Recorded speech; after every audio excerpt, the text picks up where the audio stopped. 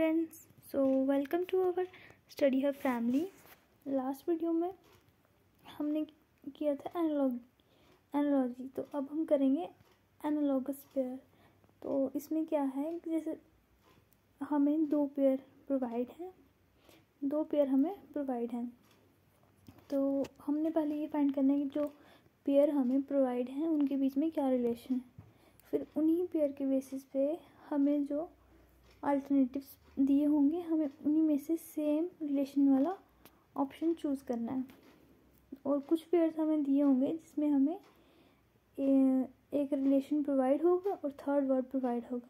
और उस वर्ड से रिलेटेड जो मैच करेगा, हमें वो चूज़ करना है। So let's start from our first question lamp dark darkness तो पहले हम लैम्प और डार्कनेस के बीच का रिलेशन फाइंड करेंगे।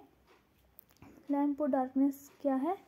एक सेकेंड सेकेंड प्रोसेस लैम्प, जैसे ही हम लैम्प चलाएँगे डार्कनेस दूर हो जाएगी, अंधेरा दूर हो जाएगा। तो लैम्प बुझाएँगे अंधेरा दूर हो जाएगा। तो अब है, हमें ऑप्शन जो प्रोवाइड है, पहले है फटीक और है एक्सरसाइज तो फटीक और एक्सरसाइज के बीच में रिलेशन है पर ये स्लो प्रोसेस है। यहाँ पे लैम्प डार्कनेस जो है, ये लैम्प डार्कनेस के बीच में जो रिलेशन है, वो फास्ट प्रोसेस है। वो विद इन सेकेंड में होने वाला प्रोसेस है। मेडिसिन इलनेस ठीक है? मेडिसिन और इलनेस मेडिसिन खाने से हम, हमारी जो प्रॉब्लम है, वो दूर तो होगी, पर धीरे धीरे वाटर थर्स्ट हमें प्यास लगी होगी और हम पानी पियेंगे। ये सेकंड का प्रोसेस ये सेकंड्स में हो जाएगा, कुछ सेकंड्स में।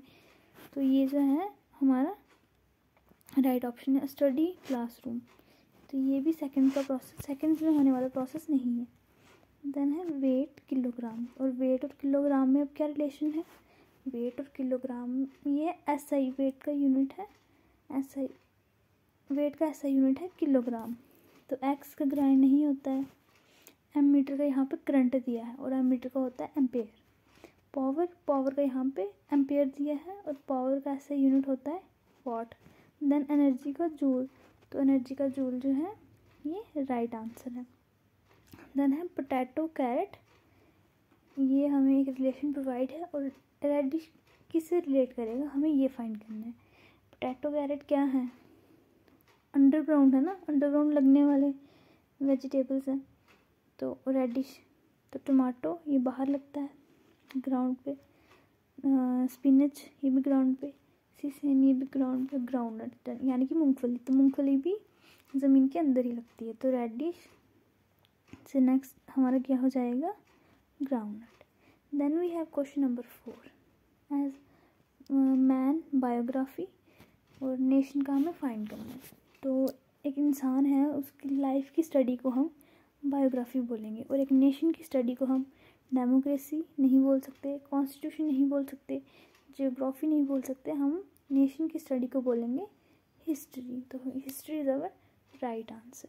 Then we have question number five. अब वर्ड्स और चिप, वर्ड्स और चिप में क्या रिलेशन है? वर्ड्स जो साउंड करते हैं, जो साउंड प्रोड्यूस करते हैं, उसे हम चिर्प बोलते हैं। अब हॉर्स जो साउंड प्रोड्यूस करते हैं, उसे हम क्या कहेंगे? अगर हमारे पास जैसे ब्रे तो ब्रे नहीं हो सकता। फिर रेस रेस दौड़ना तो हॉर्स दौड़ना ये कोई रिलेशन नहीं हुआ। स्टेबल स्टेबल वो जगह हो गई जहाँ पे हम एनिमल्स को रखते हैं। तो फिर है ने तो ने जो है हॉर्स जो साउंड करता है उसको ने बोलते हैं। फिर है question number six seismograph earthquake tachometer इसका हमें फाइंड करना है। तो सिस्मोग्राफ और अर्थक्वेक का क्या रिलेशन है? जब भी अर्थ अर्थक्वेक को हम मेज़र करते हैं सिस्मोग्राफ से। टैकोमीटर कौन, किसको यूज़ टैकोमीटर से हम क्या मेज़र करेंगे? वॉलकैनोज नहीं रेजिस्टेंस नहीं। रेजिस्टेंस तो शायद रजिस्टर से मेज़र करते हैं लैंडस्लाइड नहीं। तो ये क्या है? ऑप्शन डी स्ट्रेन टैकोमीटर एक इंस्ट्रूमेंट है जिससे हम स्ट्रेन मेज़र करते हैं। देन हमारे पास question number seven, terrible serene, और टेरिबल से का क्या रिलेशन है? टेरिबल हो गया बड़ा भयानक, और सेरीन हो गया बड़ा शांत सा। तो ये है अपोजिट। भयानक और शांत के बीच में क्या रिलेशन हो गया? Opposite word. और रूफ है तो रूफ का अपोजिट डोर नहीं हो सकता। फ्लोर। ठीक है। तो वॉल्स भी नहीं हो सकती।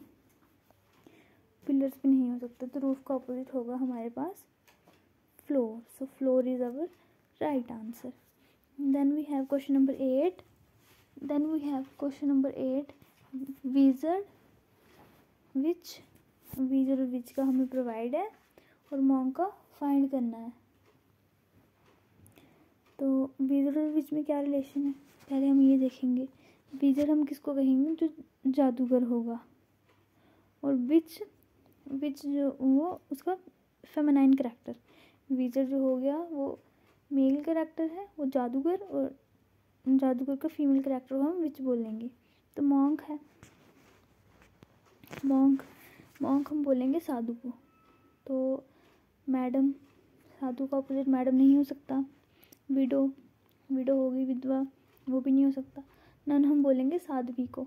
मॉन्क का फीमेल करेक्टर हो गया नन फेमिनाइन करेक्टर नन और वर्जिन भी नहीं हो सकता तो मॉन्ग का राइट आंसर है ऑप्शन सी अगर आपको वीडियो पसंद आई वीडियो को प्लीज़ लाइक शेयर कमेंट और चैनल को सब्सक्राइब कर दें. Thank you